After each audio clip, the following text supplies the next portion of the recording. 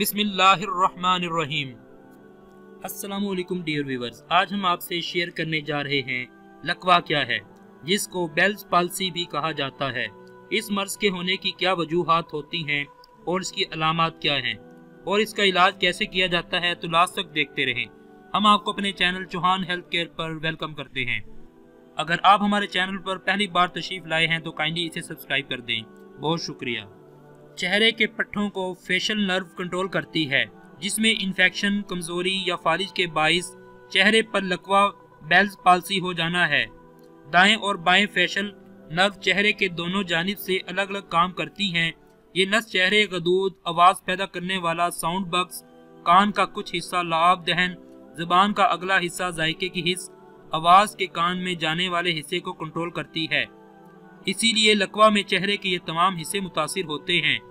لکوا میں منہ ٹیڑھا ہو جاتا ہے، رالیں بہنے لگتی ہیں، آنکھوں سے پانی آنا شروع ہو جاتا ہے، نہایت تکلیف دہ صورتحال ہوتی ہے۔ بندے کو اپنی شکل، بدی اور بدنما لگنے لگتی ہے۔ نفسیاتی طور پر بندہ ڈپریشن کا شکار ہو جاتا ہے۔ کسی سے بات کرنے کو دل کرتا ہے، نہ کسی سے ملنے کو۔ انسان اکیلے کمرے میں محبوس ہو جاتا ہے۔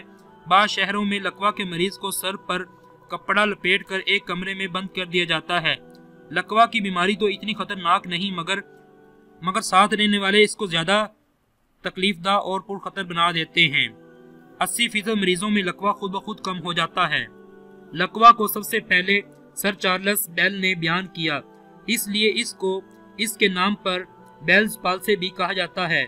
جب لکوا میں چہرہ کی نرم متاثر ہوتی ہے تو انسان خوشی، غمی، افسوس، ہنسنا، رونا تفکر، سنجیدگی، ڈر اور خوف وغیرہ کے جذبات کا اظہار نہیں کر پاتا۔ اب ہم بات کرتے ہیں لکوا کی کیا وجوہات ہوتی ہیں۔ ابھی تک ان ناؤن ہیں، لیکن بعض ماہرین کے مطابق فیشل نرو کی انفیکشن کی اہم وجہ وائرس ہے، جو عام طور پر سرد موسم میں بڑھ جاتا ہے۔ اسی باعث ایک زمانے میں یہ خیال کیا جاتا تھا کہ سرد موسم تیز ہوا اے سی یا پنکھے کے باعث چہرے کو ہوا لگ جاتی ہے اور لکوا ہو جاتا ہے، جبکہ اس کی وجہ وائرس ہرپس سمپلیکس ہے۔ چند دوسرے وائرس بھی نس کی انفیکشن پیدا کر کے لکوا کر سکتے ہیں، لیکن سردی یا ہوا لگنے سے لکوا نہیں ہوتا۔ اب بات کرتے ہیں اس کی علامات کیا ہیں۔ لکوا کی علامات بہت معمولی یا بہت شدید ہو سکتی ہیں۔ علامات اچانک ظاہر ہوتی ہیں اور اڑتالیس گھنٹوں میں پوری شدت پر آ جاتی ہیں۔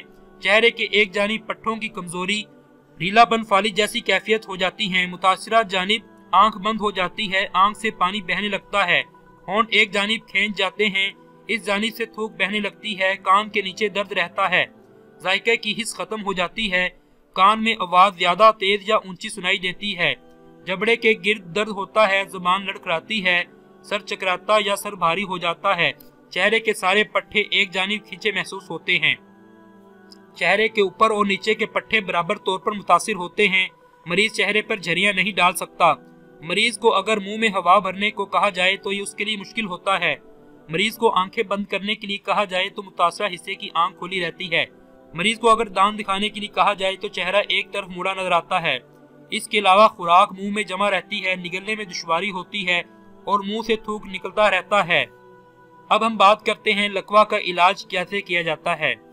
اس کا علاج تین طریقے سے کیا جاتا ہے، ادویات فیزیوتھراپی پلاسٹک سرجری لکوا ہونے کے بہتر گھنٹے کے اندر اندر سٹیرائڈ دوا استعمال ضروری ہے کیونکہ یہ نسوں کی سوزش کو کم کرتا ہے، عموماً پرینڈیسلون سٹیرائڈ گولی دن میں تین بار لی جاتی ہے۔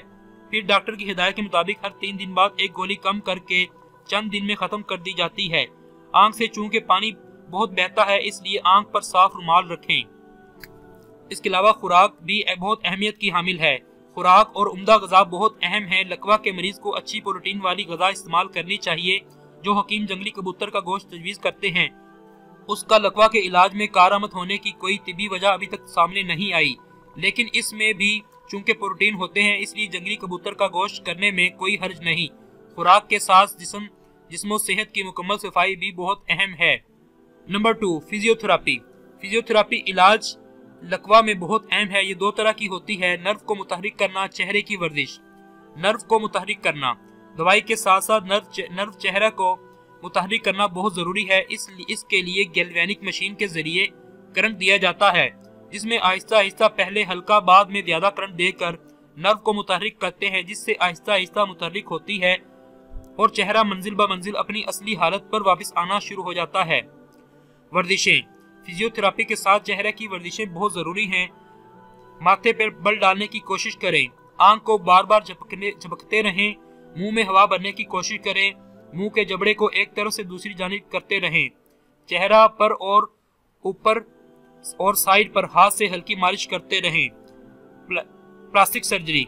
ان تمام طریقے ہائے علاج سے اگر فرق نہ پڑے تو بالکل گھبرانا نہیں چاہیے۔